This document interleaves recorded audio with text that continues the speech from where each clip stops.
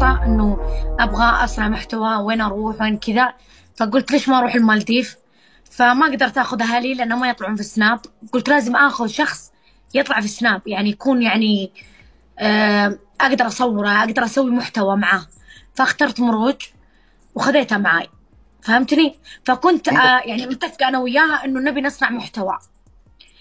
فرحت أنا للمالديف فكنت أصحى من الساعة 8 الصباح إلين الساعة 12 في الليل ولا واحدة أصور آه، يعني محتوى وكذا.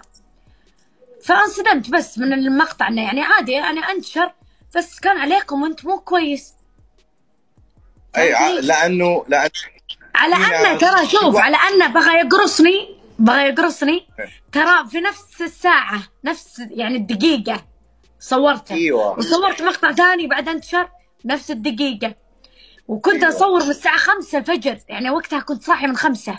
خرجت المشهورة السعودية رهف القحطاني عن صمتها وتحدثت للمرة الأولى عن المقطع الذي انتشر لها أثناء رحلتها إلى المالديف مع مواطنتها مروج الرحيلي وتسبب بتغريم كل منهما من قبل هيئة الإعلام في المملكة. وكشفت القحطاني في بث مباشر عبر تيك توك للمرة الأولى عن بعض التفاصيل من الرحلة المثيرة للجدل مؤكدة أن سبب اختيارها لمروج لتسافر معها هو عدم رغبة أفراد عائلتها بالظهور معها في سناب شات. لذلك قررت اصطحاب أحد آخر. وقالت القحطاني إنها أرادت أن تصنع محتوى لها وقررت آنذاك أن تسافر. لذلك وقع اختيارها على مروج لكي تظهر معها في سناب شات لتصوير يومياتها.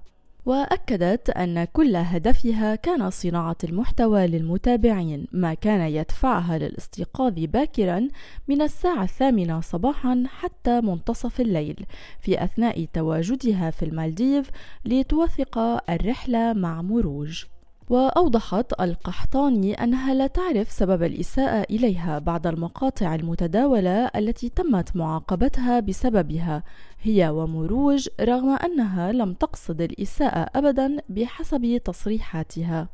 وكانت الفاشونيستا السعودية مروج الرحيلي قد علقت على الأزمة التي تسببت بها بصحبة صديقتها خلال تواجدهما في جزر المالديف التي أدت إلى فرض العقوبات عليهما بغرامة مالية وظهرت مروج في مقطع فيديو جديد لتوضح الأمور مشيرة إلى أنها لا دخل لها بالمقطع المتداول وأنه لم يصدر عن حسابها.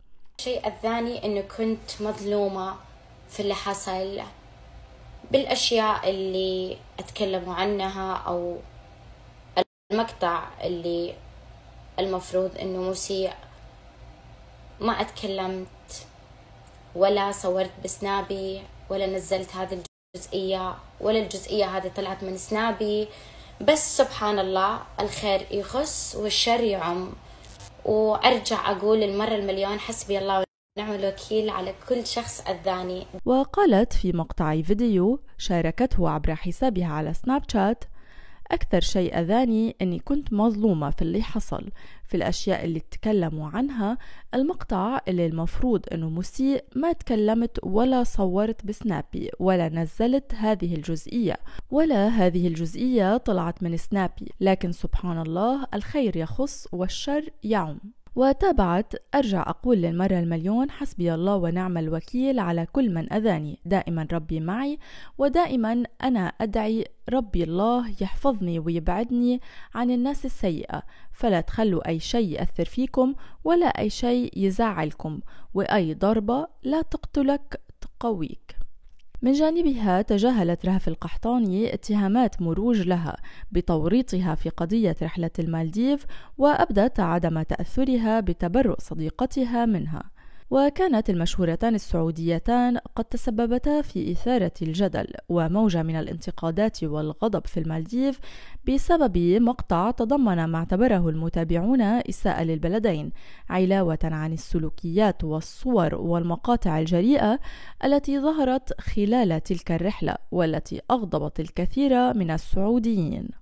وفرضت بعدها الهيئة العامة للإعلام المرئي والمسموع في المملكة العربية السعودية غرامة بقيمة 400 ألف ريال سعودي أي ما يقارب 106 ألاف دولار أمريكي على المشهورتين رهف القحطاني ومروج بسبب إساءتهما للمالديف.